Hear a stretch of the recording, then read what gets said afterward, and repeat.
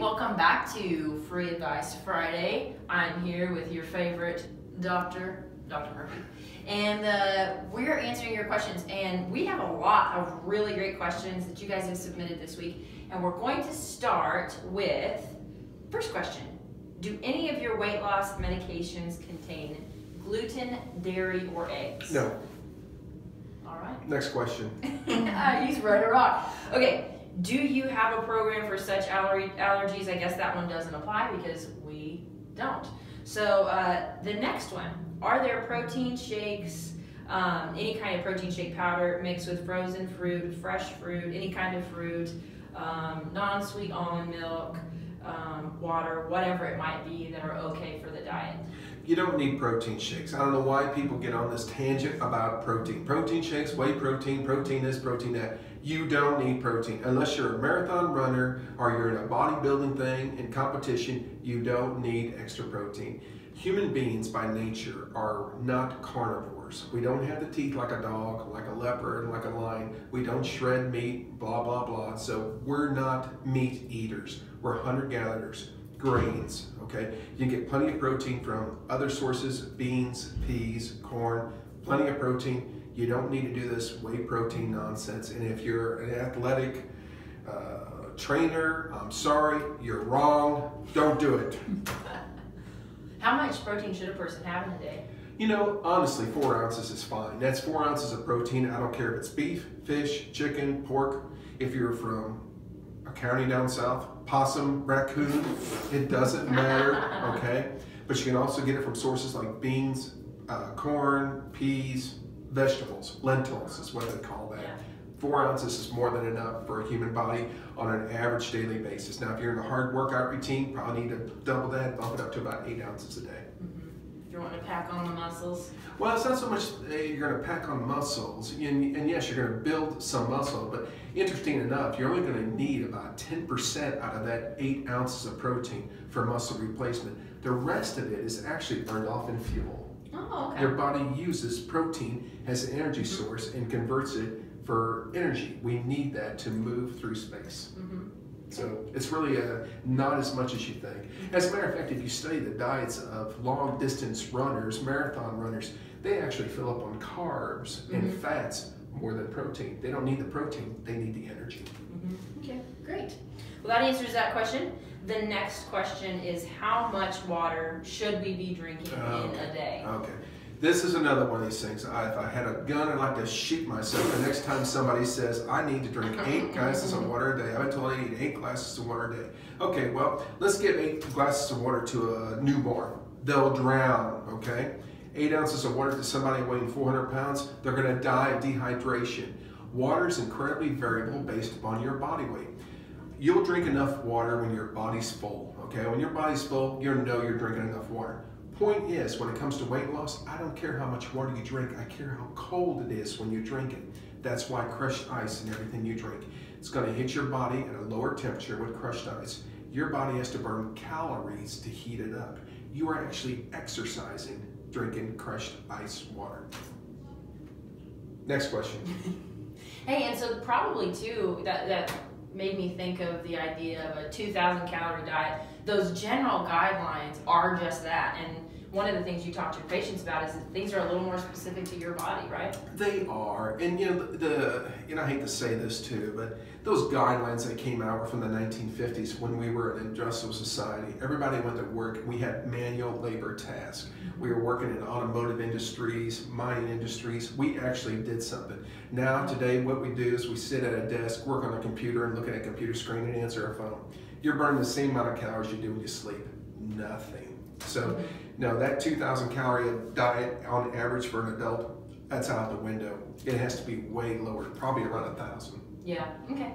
All right. Great. Um, all right. The next question is why does phentermine cause jitters in some people, and is there a way around that? Yes, there is. Phentermine causes, phentermine is actually not causing the jitters. What is causing the jitters is hypoglycemia.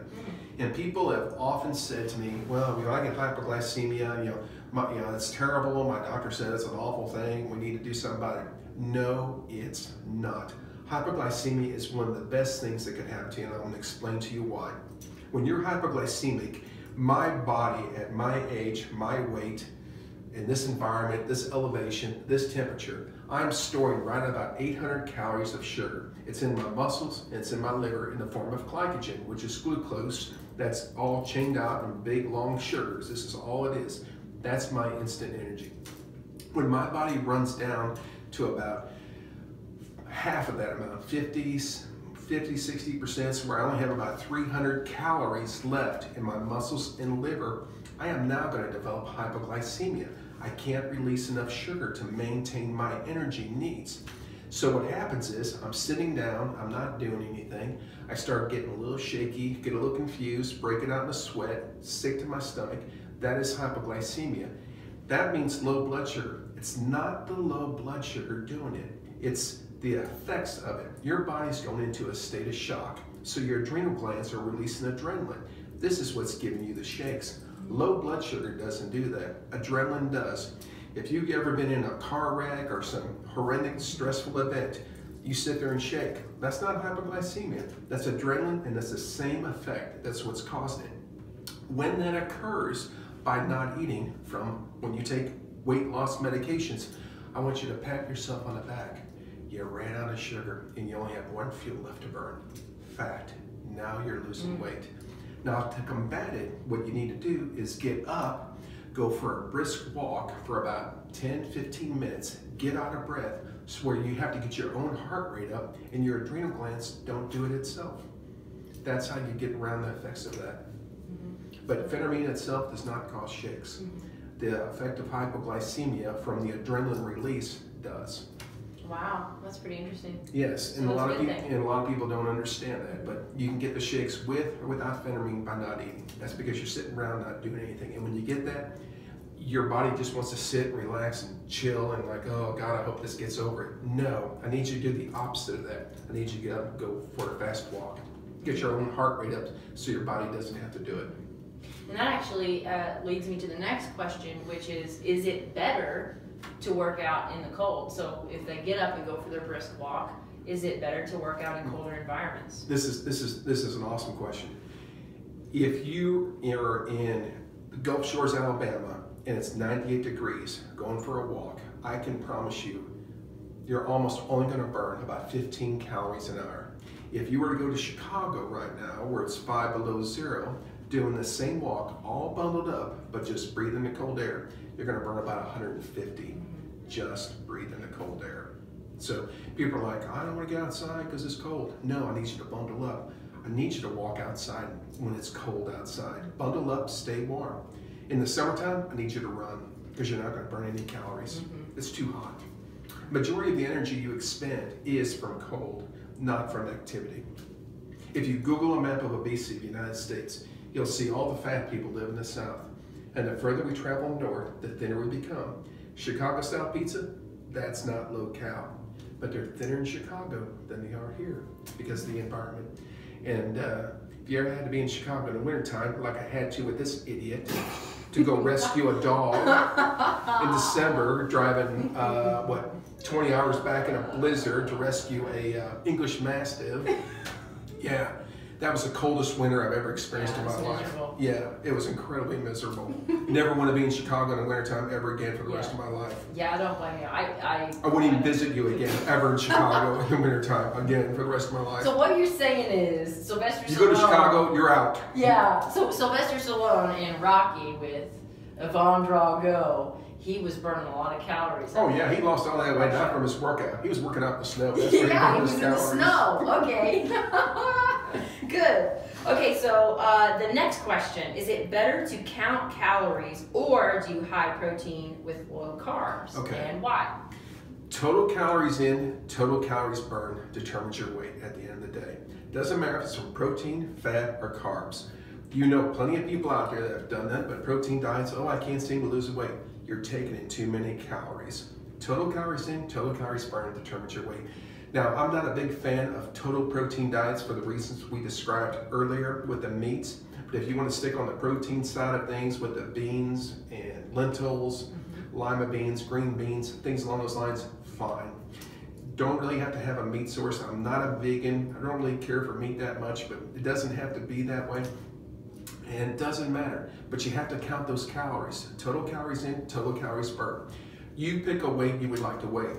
If you want to weigh 100 pounds and you don't exercise, it's five calories per 100 pound weight per day.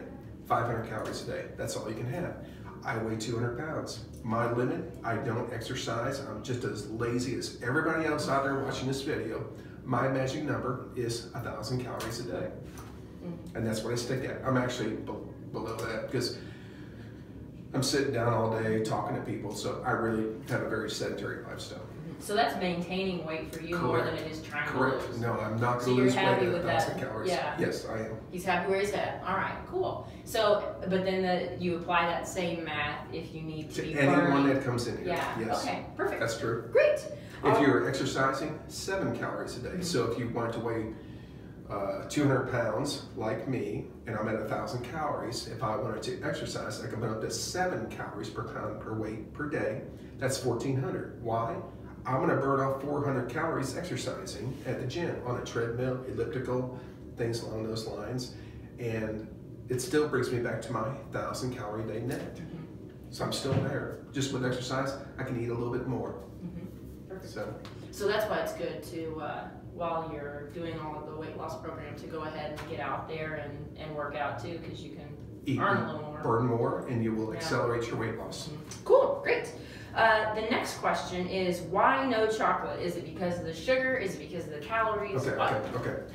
People think chocolate is sugar. It is not. Read the label. Creamy milk chocolate.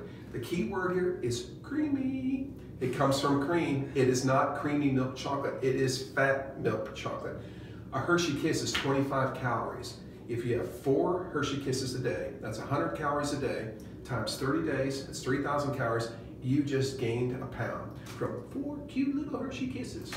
So, chocolate is fat. It's fat milk chocolate. That's why you can't have chocolate. And same with dark chocolate? Yes, they're all the same. All the same. All right, Yes. well, then don't ask for chocolate for Valentine's Day. The interesting thing is you can have that I don't have much of a problem with is Werther's hard candy, not the soft centers. The hard candy, it's got a lot of sugar in it, but less cream. There's no creamy milk chocolate. It's not soft, it's hard. And it has about a third of the calories of hard chocolate. But you get all the taste. So if women want chocolate, because I never get between a woman and her chocolate, you know, pull back a nub, you know, thing. So, but Werther's hard candy is okay. I don't have a problem with that. That's their chocolate fix. And. Jolly Ranchers, right? Jolly Ranchers are okay too. Cool. All right, so the last question for the day is Does phentermine lose its effectiveness over time? If so, what can be done? Okay, and the answer to that question is yes, and it's very unpredictable. I've had people on phentermine and phendimetrazine and other weight loss medicines, and some of them do very well for a majority of years. Other people, they struggle with it after about three to four, five months. And we have two options. One, we can go up on the dose, which I'd rather not. The second one is I tell them to take it for five days, get off it for two consecutive days. And that kind of sort of resets the tolerance to it. So when they start on it the next week, they're good again. Problem is, you got to be careful on those two days and really watch what you eat not go overboard. Cool. All right. Well, that is all the questions that we have for today. That's everything that was submitted. Oh, actually, no, I lied. I do have one other question. Um, this one was submitted by Dave Holloman. Your one and only Dave Holloman. He I wanted hate- me to ask this this question. I don't know why he keeps asking me questions. yeah, he was mad that we didn't answer it or ask it last week. So here's the question: Hot toddies. So that's whiskey, honey, tea, and sugar. Can it help relieve cold and flu symptoms? If true, if whiskey does help, can he skip the honey, tea, and sugar? I think no, no, and no. Okay. It does not help with cold symptoms. Might open the sinuses a little bit, Yeah. but uh, no, I don't help them have the cold symptoms. And Dave, this is for you. If it helps, go for it, brother. All righty. well, yes, that is everything we have. One interesting thing, I, Okay. I found this out from my wife, and uh, I've honestly, you folks probably can tell I'm a little bit under the weather right now, Yep. and so I've been on some antibiotics, taking some potent decongestants. I really had a sour stomach as my wife and I were driving through the great state of Arkansas, and uh, I told her, I said, you know, Doc, I'm sick of my stomach. I'm about ready to throw up. She goes, you need to get some McDonald's French fries. I'm like, what? She goes, oh, oh, when I was pregnant with all my children, when I had morning sickness, I had McDonald's French fries and a Coke. I said, well, I don't really know about the do the Coke. I swear to God, I pulled into McDonald's, I got a large French fry, and it solved my sour stomach. Really? Yeah, I really felt good afterwards. And so today, twice today, some people are under the weather, like, oh, I just can't take that stuff. I get sick to my stomach. I said, go eat some McDonald's French fries. So go McDonald's. Your French fries are good for Yeah. something. Settle the stomachs down.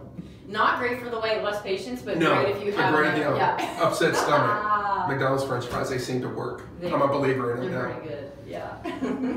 all right, well, uh, thank you all so much again for submitting all the questions. We had a lot of really awesome ones this week, and we hope to see you again next week with some new ones. So we hope you have a great weekend. Stay safe. See you next time. See you next week.